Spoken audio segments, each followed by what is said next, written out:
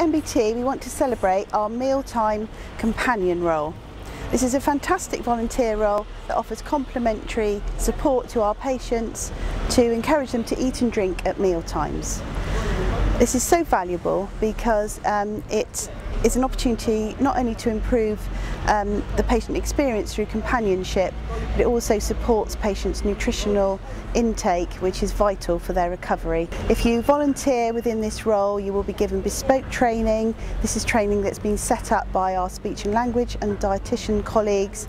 Um, there are role cards for the wards to understand your role as a volunteer. We would love you to join us. Um, look on our NBT website uh, or contact us to discuss this role further. But if you yourself feel like volunteering or you know somebody that would be good at this role, please, please get in touch with us. Thank you.